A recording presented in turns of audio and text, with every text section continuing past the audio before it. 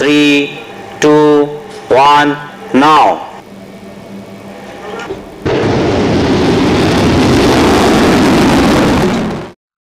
One of the missiles that was tested was long range hypersonic missile. इसके बारे में ना government has not given a lot of details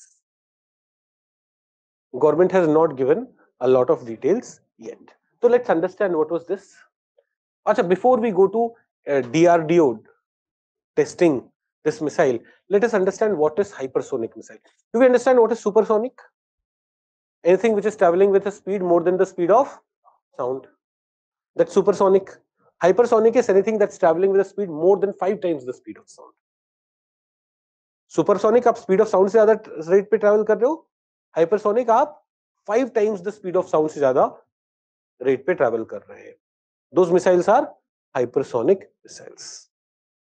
Do we get this? Pakka? Now, a hypersonic missile is a weapon system which flies at least at the speed of Mach 5, that is 5 times the speed of sound, and is maneuverable. That's very important. So it's not a ballistic missile. You are able to maneuver it. That is unlike ballistic missiles which follow a fixed trajectory. Hypersonic missiles can alter their course, making them significantly harder to detect. Now, there are two kinds of hypersonic missile one is hypersonic glide vehicle other is hypersonic cruise missiles hypersonic glide vehicles use what is known as aerodynamic lift for maneuverability what is aerodynamic lift? Aerodynamic lift is the same principle by which birds are able to stay in the air and they're able to change its path or something similar to what airplanes are able to do. वो इतना heavy airplane, It's not falling on the ground. It's able to remain in the air. उसके पीछे aerodynamics involve है है ना आप पतंग को देखोगे वो ऊपर जा रहा होता है तो सारे फैक्टर्स है अभी अभी will not into that but hypersonic glide, glide vehicle may what happens a missile at very high speed at hypersonic speed is going towards the target and then it is also able to glide maneuverability is there so that जब वो गिर रहा है like no the let's say russia launches a hypersonic missile with this gliding ability on us Otherwise, detecting it would have been possible. But now, you'll be able to glide it. Leading to what? Leading to its detection becoming more difficult. Then there is hypersonic cruise, missile, cruise missiles. They are powered by air-breathing scramjet engines that uh, these missiles sustain hypersonic speed throughout their flight. So they'll be hypersonic throughout the flight and throughout the flight they'll have an engine. An engine which will be giving it the force that is needed and ability to change its direction. The engine which is generally used in hypersonic cruise missiles are scramjet engine, air breathing scramjet engine. Achha, so what is scramjet engine? Do we do we understand? बताइए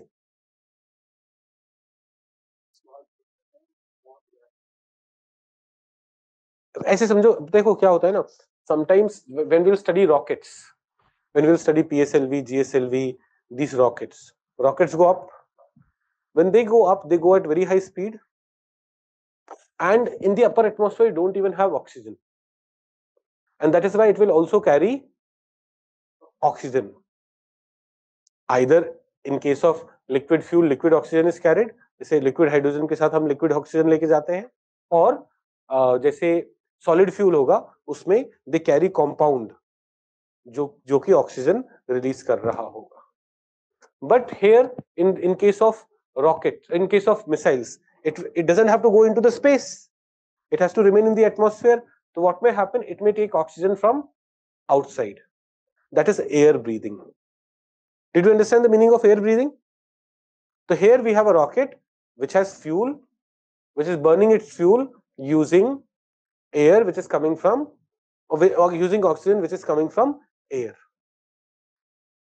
जैसे हम air breathing कर रहे हैं ना we are breathing in air and we are taking oxygen and burning fuel in our body carbohydrate is getting oxidized with the help of oxygen that we are taking in scramjet engine में भी ये होगा and now it's a difficult thing to achieve because the the speed at which the air enters the engine आप देखो दिया जला रहे हो वहाँ पे ऑक्सीजन की ज़रूरत है बट हवा बहुत तेज आएगी दिया बुझ जाएगा तो maintaining flame here is a difficult task and thus developing these engines are also difficult. So, the, but this is another way in which hypersonic missiles can be created. Now, these hypersonic missiles, are they capable of carrying conventional weapon or nuclear weapon? दोनों ले जाओ यार रख के लेके तो जाना है can carry conventional also you can carry nuclear also so countries which have this capability right now, Russia, China and US has this capability, but a number of other countries are working on it. France, Germany, Australia, Japan, Iran and Israel are working on it. Achieving or developing hypersonic missile is a challenge because one, it travels at hypersonic speed, very high speed and thus the heat that it will be generating. एक तो lower में lower area में travel कर रहा होगा friction बहुत सारा heat that it will be generating would be very high and thus the material that we need is should be heavily heat resistant नहीं तो ऊपर ही पिघलना शुरू हो जाएगा। Second it would need precise navigation unlike ballistic missile आपने launch कर दिया, अब projectile motion laws of physics will take it there here you need here you need what you need precise ability to navigate and third cost of manufacturing is higher even than that of ballistic missiles. These are some of the challenges which comes to development of hypersonic missiles. Now the hypersonic missile that has been tested by India in on 27th, the missile developed by DRDO is designed to carry various payloads for ranges greater than 1500 kilometers. So our hypersonic missile that we have tested has a range of 1500 kilometers and it was tested at Mach 6, that is six times the speed of sound. It's country's first long range hypersonic missile. We had a we had supersonic missiles. The BrahMos is a supersonic missile. That is, BrahMos travels at a speed more than the speed of sound. But hypersonic, more than five times the speed of sound. This is country's first long range hypersonic missile.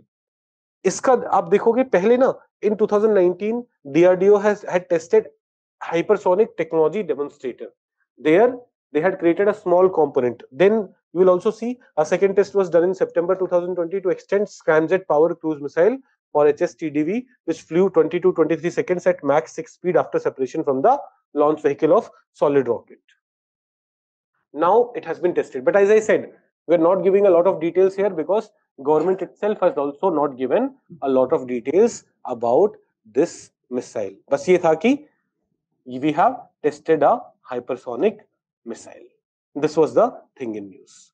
But this is an achievement that has put the country in select group of nations having the weapon that can strike with extreme speed and evade most air defense system. So it has significance. Very few countries have this capability. India has been able to develop this capability. So very high speed missile.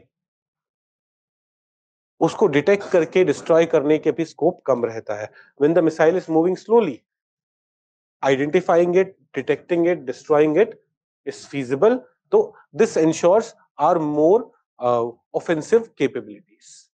Okay, this is it about it. अभी इसके बारे में और ज़्यादा when when the government gives more information, we'll be able to study more about it.